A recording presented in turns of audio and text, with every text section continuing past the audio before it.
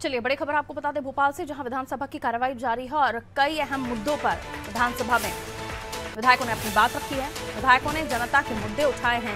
क्या कुछ विधायकों ने कहा है वो आपको सुनवाएँगे। विधायक मंत्रियों ने क्या कुछ बातचीत की है?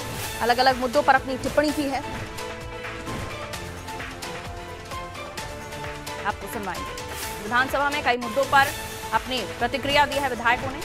क्या कुछ कहा है? आपको सुनवाएँगे।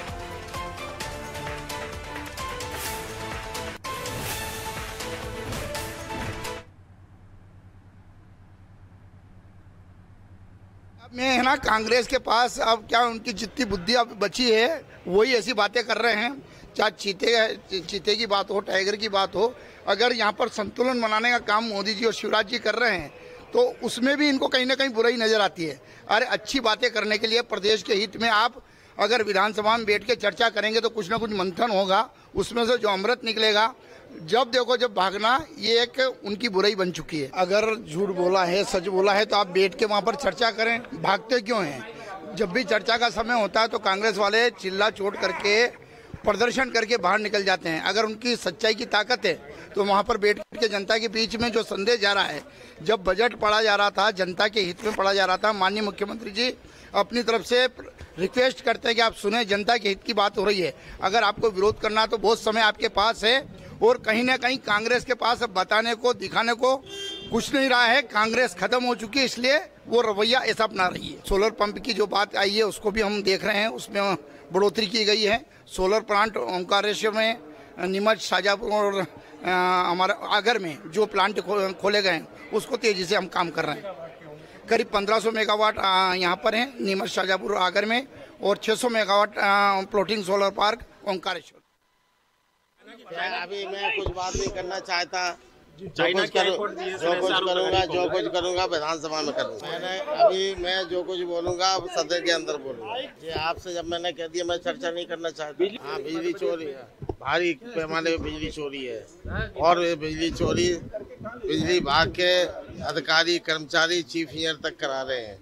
कई बार शिकायतें करते हैं। खंभे वो चोरी करते हैं ट्रांसफ़र वो चोरी करते हैं। और एक पूरी गैंग है।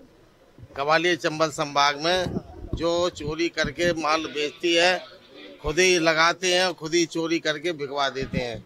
विभाग के अधिकारी को शिकायत की जाती है। अनेकों बार करने के बाद भी माल भी पकड़ जाता है, लेकिन उन पर कोई कार्रवाई नहीं की जाती। वो मामला मैंने विधानसभा में लगाया, आज उस पर हम मुद्दा उठाएँगे, चर्चा क्यों? आप ज़रूरी है कि हर चीज़ आपको बताई जाए। वहाँ जाके सब देख लेना मैं क्या करता हूँ।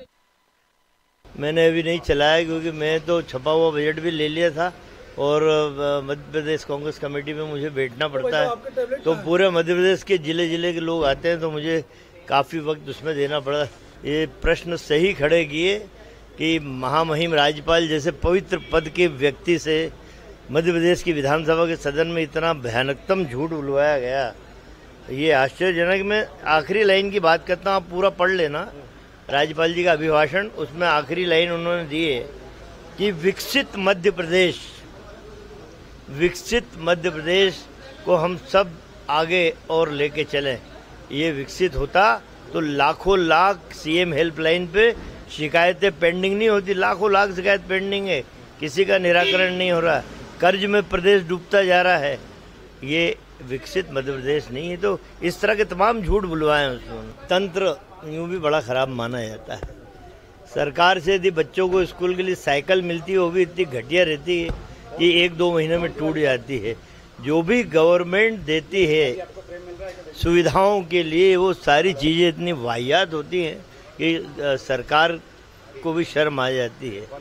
अभी स्वास्थ्य विभाग का छपा शिक्षा विभाग का छपा तमाम सारा छपा आ, लेकिन बात ये कि जब विधायकों के साथ इस तरह की चीट हो रही है तो तो निश्चित रूप से मध्य प्रदेश का भविष्य भाजपा के राज में अंधकार में है। देखिए, इससे ज़्यादा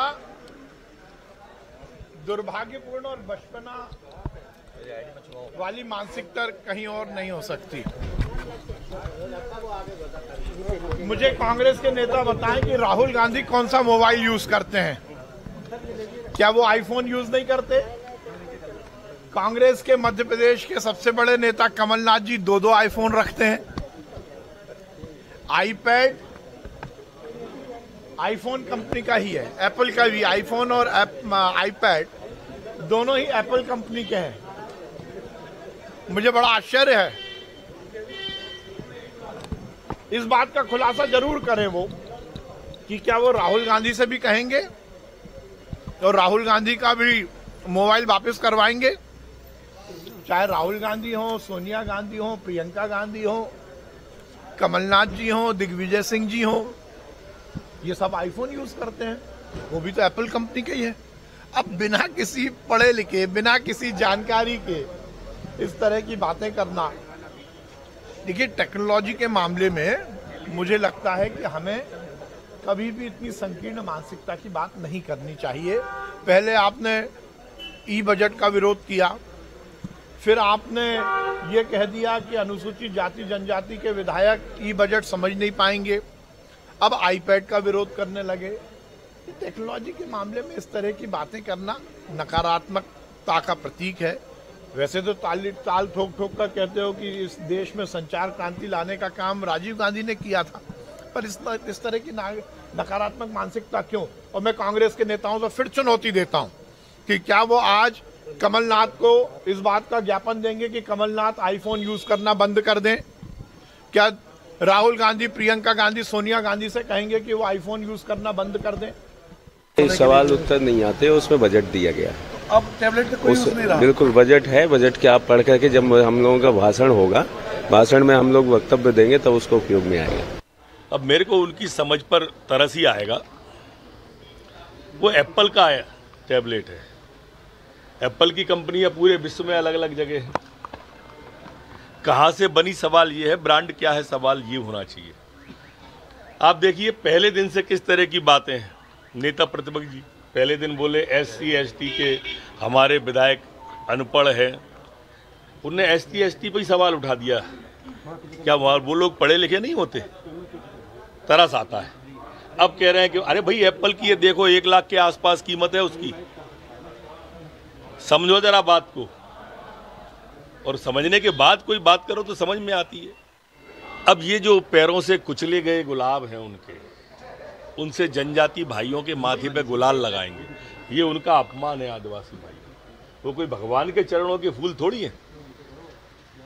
बारडा परिवार के चरणों के फूल हो सकते हैं वो, पर उनको आप भगवान का दर्जा दे के आदिवासी भाइयों का, शुरू से कांग्रेस की मानसिकता जनजाति की अपमान करने की रही है। देश के तीन राज्यों के चुनाव परिणाम आए हैं। भारतीय जनता पार्टी दोनों प्रांतों में आगे चल रही है। अभी और रुझान आने वाले सरकार बनाएँगे दोनों प्रांत। अब मैं